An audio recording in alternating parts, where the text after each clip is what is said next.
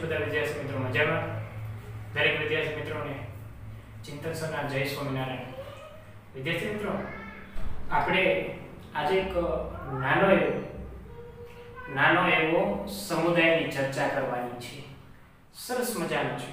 નાનો એવો સમુદાય. જે છે કંકતધરા એના વિશે ચર્ચા છે કરવાની છે. બહુ નાનો એવો શોર્ટ છે. જેના વિશે આપણે ચર્ચા કરીએ.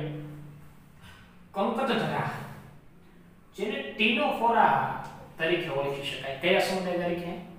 ટીનોફોરા સમુદાય તરીકે એને ઓળખી શકાય છે, વિદ્યાર્થી મિત્રો. કેના તરીકે ઓળખી શકાય? ટીનોફોરા તરીકે ઓળખી શકાય છે. હવે આ સમુદાયના પ્રાણીઓ છે ને કંકત જેલી અથવા દરિયાઈ અખરોટ અથવા સમુદ્ર અખરોટ તરીકે ઓળખાય છે. સમુદ્ર અખરોટ અથવા કંકત જેલી. સમુદ્ર અખરોટ છે ને ઇંગ્લિશમાં કહેવાય સી વોલનટ્સ તરીકે શું થાય છે? ઓળખાય છે. સમજાય છે? કંકત જેલી અથવા દરિયાઈ અખરોટ તરીકે શું થાય છે? ઓળખાય છે. સી વોલનટ્સ તરીકે ઓળખાય છે. ત્યાર પછી વિદ્યાર્થી મિત્રો, પાચન માર્ગ છે ને સંપૂર્ણ છે. સમજાય છે? સંપૂર્ણ પાચન માર્ગ છે ધરાવે છે. તો આપ જોઈ શકો છો, અહીંયા મુખ છે એનું સમજાય છે? અહીંયા એનો એનાલ કોડ છે, મળદ્વાર છે. બંને દ્વાર છે, અલગ અલગ છે. એટલા માટે સંપૂર્ણ પાચન માર્ગ છે ધરાવે છે. ત્યાર પછી એક બહુ મહત્વ, સમજાય છે? નીટમાં પૂછાય તેવું સેન્ટેન્સ છે. સમજાય છે? નીટ માટે ઉપયોગી છે, ખાસ એમસીક્યુ માટે. યાદ રાખજો કે જૈવિક પ્રતિક્રિયાતાનો ગુણધર્મ ધરાવતો સમુદાય જણાવતો કોણ આવશે? કંકતધરા અથવા ટીનોફોરા સમજાય છે? જૈવિક પ્રતિક્રિયતાનો ગુણધર્મ એટલે પ્રકાશિતતાનો ગુણધર્મ. સમુદ્રની અંદર હોય ને, તો એકદમ સમુદ્ર રાત્રિના સમયે છે ને, ચમક વાઘવાળું પિક્ચર જોયું હોય તો તમને કદાચ ખબર હોય તો. જેની અંદર આવી રીતે છે, આવા સમજાય છે, ફેલાઈ જાય છે અને સમુદ્ર એકદમ આમ, એકદમ પ્રકાશિત હોય ને તેવો દેખાય છે. એટલે જૈવિક પ્રતિક્રિયતાનો ગુણધર્મ ધરાવે છે, એટલે કે પ્રકાશતાનો ગુણધર્મ છે ધરાવે છે. કયો સમુદાય? કંકત ધરાવે. ત્યાર પછી પાચન છે ને વિદ્યાર્થી મિત્રો અંતઃકોષીય અથવા બાહ્યકોષીય છે, જોવા મળે છે. અંતઃકોષીય એટલે શું? તો કે ભાઈ હું અહીંયા તમને પેરામિસિયમની રચના છે એ દેખાડું છું. શેની રચના છે? પેરામિસિયમની રચના, વિદ્યાર્થી મિત્રો. સમજાય છે? તો પેરામિસિયમ જે છે ને એનો આ મુખ છે, આ એના પક્ષમાં છે. સમજાય છે? શું છે? પક્ષમાં છે. વિદ્યાર્થી મિત્રો, એની અંદર આંકુચક પ્રકારની યાદી રસધાની આવેલી હોય છે. શું આવેલી હોય છે? આંકુચક પ્રકારની પ્રકારની રસધાની છે આવેલી હોય છે. એટલે શું કરશે? ખોરાકને પકડશે ને? એટલે સીધો જ છે કોષની અંદર. આ આંકુચક પ્રકારની રસધાનીમાં જ એનું પાચન થઈ જશે. એટલે કોષની અંદર જ પાચન થાય છે. એટલા માટે એને કેવું કહેવાય? અંતઃકોષીય પાચન. પાચન કહેવામાં આવે છે. બાહ્યકોષીય પાચન એટલે કે ભાઈ આપણી જેમ જ વાત કરીએ, તો દાખલા તરીકે આપણે ખોરાક લઈએ છીએ. આપણા પાચન માર્ગની અંદર જાય છે. આપણા પાચન માર્ગમાં પાચન થાય છે. પાચન થઈ અને પછી કોષો સુધી છે પહોંચે છે. એટલા માટે એને બાહ્યકોષીય પાચન તરીકે ઓળખી શકાય છે. એટલે અંતઃકોષીય પાચન અને બાહ્યકોષીય પાચન તમને ખ્યાલ આવી ગયો છે. હવે તફાવત તો તમને ખબર પડી જાય પડે કે હવે શબ્દ સમજાવીશ નહીં કે ડાયરેક્ટ કોષોની અંદર થાય પાચન એને અંતઃકોષીય અને કોષની બહાર સમજાય છે બહાર એટલે બાહ્યકોષીય પાચન. ત્યાર પછી આ પ્રાણીઓમાં લિંગભેદ જોવા મળતો નથી. શું નથી જોવા મળતું? લિંગભેદ જોવા મળતો નથી. વિકાસ છે ને પરોક્ષ ગર્ભ વિકાસ છે જોવા મળે છે.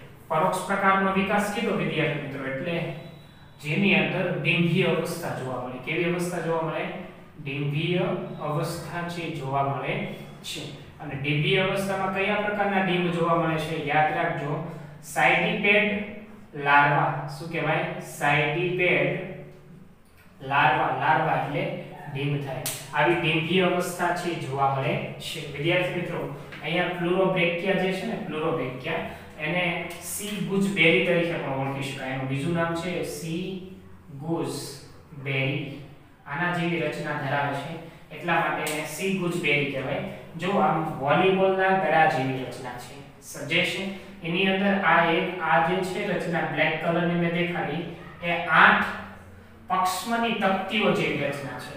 અને આ જે આઠ પક્ષમની તકતીઓ છે ને, એની મદદથી પ્રચલન માટે તે શું છે? ઉપયોગી છે. અને ત્યાર પછી સરસ મજાની કેનાલ્સમાંથી છે, અહીંયા તમે જોશો તો ટેન્ટિકલ્સ જોવા મળે છે સૂત્રાંગો તો આમ જોઈએ તો કોષ્ટાંત્રીના ફ્રેન્ડ કહેવાય.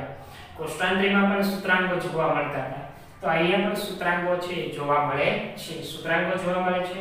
આ જે રચના છે છે પક્ષમાં, તો આઠ રચનાઓ, તકતીઓ જેવી રચના છે જોવા મળે છે. અને ત્યાર પછી પાચન માર્ગ સંપૂર્ણ છે, મુખ અને એના કોર બંને છે ધરાવે છે. ઇવન આપણી ટેક્સ્ટ બુકમાં બસ અહીંયા સુધી આપેલું છે અને બે ઉદાહરણ આપ્યા છે પ્લુરોબ્રેકિયા અને ટીનોપ્લેના પણ ઇવન એક્સ્ટ્રા લક્ષણો છે, એ તમારે નોંધી લેવાના છે. નીટની અંદર ઉપયોગી બને સમજે છે? આપણે બનાવેલા છે ટેક્સ્ટ બુક સિવાયના છે. તો જોજો, તો કે ભાઈ અદેહ કોષ્ઠી પ્રાણી છે, શરીરની વચ્ચે પોલાણ જોવા મળતું નથી, એટલા માટે અદેહ કોષ્ઠી. કેવું આયોજન ધરાવે છે? કોષ્ટાંત્રીના ફ્રેન્ડ છે. એટલા માટે પેશી સ્તરીય આયોજન જોવા મળે છે. દ્વિગર્ભ સ્તરીય પ્રાણીઓ છે. બહારનું બાહ્ય ગર્ભસ્તર, અંદરનું અંતઃ ગર્ભસ્તર વચ્ચેનું મધ્ય શ્લેષ્મ સ્તર આવેલું હોય છે. મધ્ય ગર્ભસ્તર આવેલું હોતું નથી. ત્યાર પછી અરીય સંમિતિ અને ક્યારેક દ્વિપાર્શ્વ સંમિતિ બંને પ્રકારની જોવા મળે. ક્યારેક અરીય જોવા મળે છે, ક્યારેક દ્વિપાર્શ્વ સંમિતિ જોવા મળે છે. ત્યાર પછી એને બે વર્ગમાં વિભાજિત કર્યા છે. એક સૂત્રાંગો હાજર હોય, આવા સૂત્રાંગો હાજર હોય અને અથવા સૂત્રાંગો ગેરહાજર હોય. સૂત્રાંગો હાજર હોય ને, એને ટેન્ટાક્યુલેટા કહેવાય. શું કહેવાય? સૂત્રાંગો હાજર હોય, એને ટેન્ટાક્યુલેટા કહેવાય, પહેલો વર્ગ. અને સૂત્રાંગો ગેરહાજર હોય, તો એને ન્યુડા કેવો વર્ગ આપ્યો છે? ન્યુડા. એનું ઉદાહરણ છે, બોરે પ્રાણી. કોણ આવશે? બોરે પ્રાણી જે છે, એ સૂત્રાંગો ગેરહાજર હોય છે. આ યાદ રાખવાનું છે. સૂત્રાંગો હાજર હોય તેવા, તો તમે અહીંયા અહીંયા ઉદાહરણ તો કે ભાઈ દરિયાઈ અખરોટ છે ને, ખાલી આ એક જ પ્રાણી જોવા મળે છે. હોર્મીફોરા છે ને, એટલા એ હોર્મીફોરાને જ દરિયાઈ અખરોટ તરીકે ઓળખવામાં આવે છે. પરંતુ આખા સમુદાયને આપણે દરિયાઈ અખરોટ તરીકે આપણે નામ આપી દીધું છે. ત્યાર પછી બીજું છે ટીનોપ્લેના. અને પ્લુરોબ્રેકિયા છે? સમજાય છે. જેને સી બેરી તરીકે પણ ઓળખી શકાય. અને સ્કેસ્ટમ. સમજાય છે, આખો ઉપયોગી નથી કેસ્ટમ પણ તોય લખી નાખજો. આ જે છે એ કયો સમુદાય થઈ ગયો. કંકતધરા કંકત જેવી સમુદ્ર અખરોટ અથવા સી વોલનટ્સ તરીકે ઓળખાય છે. પાચન માર્ગ સંપૂર્ણ છે. જૈવિક પ્રતિક્રિયાનો ગુણધર્મ ધરાવે છે. પ્રકાશતાનો પાચન અંતકોષીય અને બાહ્યકોષીય બંને પ્રકારનો જોવા મળે છે. લિંગ ભેદ જોવા મળતો નથી. વિકાસ પરોક્ષ ગર્ભ વિકાસ જોવા મળે છે. ડિંબી અવસ્થા અને સાઇટિકેર નામના ડિંબ જોવા મળે છે. અધેય દ્વિગર્ભસ્તરીય દ્વિગર્ભ પ્રાણી, અરીય સંમિતિ ક્યારેક દ્વિપાર્શ્વ સંમિતિ ધરાવે, પેશી સ્તરીય આયોજન ધરાવે છે, બે વર્ગમાં વિભાજિત કર્યો છે, સૂત્રાંગો હાજર, સૂત્રાંગો ગેરહાજર. સૂત્રાંગો હાજર એને ટેન્ટાક્યુલેટા કહેવાય અને ન્યુડા કહેવાય અને બોરે ઉદાહરણ આપેલું છે. અને દરિયાઈ અખરોટ હોર્મીફોરા ટીનોપ્લેના પ્લુરોબ્રેકિયા સી ગુસબેરી અને કેસ્ટર. આ એના ઉદાહરણ છે, વિદ્યાર્થી મિત્રો. તો આપણે આજે અહીંયા આ લેક્ચર્સની અંદર શેની ચર્ચા કરી?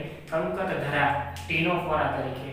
સમજાય છે? આપણને આગળ સી આપેલું છે. ઘણા સી ટીનોફોરા બોલે છે. પણ અહીંયા સી છે, લૂપ છે. ઇંગ્લિશ ભાષા અનુસાર એના નિયમ અનુસાર એટલા માટે એને ટીનોફોરા તરીકે પણ ઓળખી શકાય છે. સમુદ્રના અખરોટ તરીકે ઓળખી શકાય છે. પૂછે આપણને સમુદ્રના અખરોટ વર્ણવો તો કંકત ધરા વિશે લખવાનું થાય ખ્યાલ આવ્યો વિદ્યાર્થી મિત્રો? તો આજે અહીંયા સુધી રાખવાનું છે. બાકીનું નેક્સ્ટ લેક્ચરની અંદર જોશું. તો નવા સમુદાય તરફ છે, જવાનું છે નેક્સ્ટ લેક્ચરમાં તો નવો સમુદાય છે પૃથુભૂમિ સમુદાય છે. કયો છે? પૃથુભૂમિ બીજી વસ્તુ ખાસ કે આપને વિડિયો લેક્ચર્સ જો ગમતા હોય, તો આપના ફ્રેન્ડ સર્કલ મિત્ર વર્તન અથવા આપણા કોઈ સગા સંબંધી ભણતા હોય, તો એના સુધી પહોંચાડો. જેથી કરીને નીટની માહિતી એને ખૂબ જ ઉપયોગી બને.